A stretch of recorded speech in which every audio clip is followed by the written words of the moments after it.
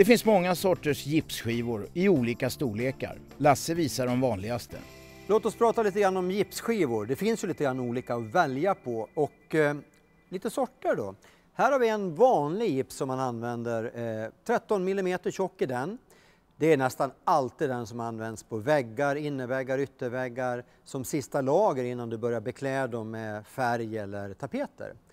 Det här då? Ja, den här är en tunnare variant, den är 6 mm. Det är en renoveringsgips. Om du bara ska fixa en gammal ful vägg som är lite ojämn, ja då är renoveringsgipset det som du kan använda utav. Här har vi ett golvgips. Det lägger vi alltså i hallar och under sådana saker. Dock inte inne i badrum och våtrum därför att den här har en pappersbeklädnad och det får du inte ha där.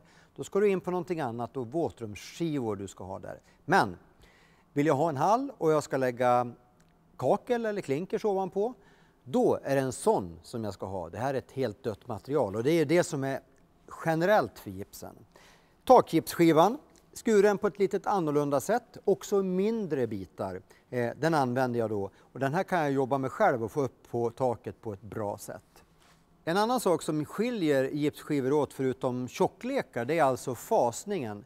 På de skivor som du använder på väggen, där finns det en nerfasning. I den ska skruvarna sitta och sen så kan du lägga i spackel så att du får det jämnt och slätt så att du slipper få en bula uppåt. Det är både på den här renoveringsgipsen och på den normalgipsen som det är så. På golvgipset här, där finns inte den. Det är helt slätt. Och det är det ju för att där behöver du inte hålla på och spackla en massa av grejer att fixa. Takgipset, det har en fräst kant som gör att du kan spackla i den eh, och därför så ser den ut på det här viset då.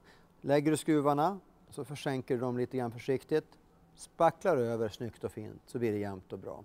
Eh, och det är väl det som kännetecknar gips. Gips är alltså ett dött material.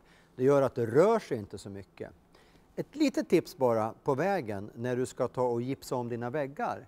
Använd en 90-gradig eh, plåtregel i hörnen bakom gipset så får du ett riktigt, riktigt starkt innerhörn. Vill du lära dig att montera gipsskivor? Kolla på fixartv.se.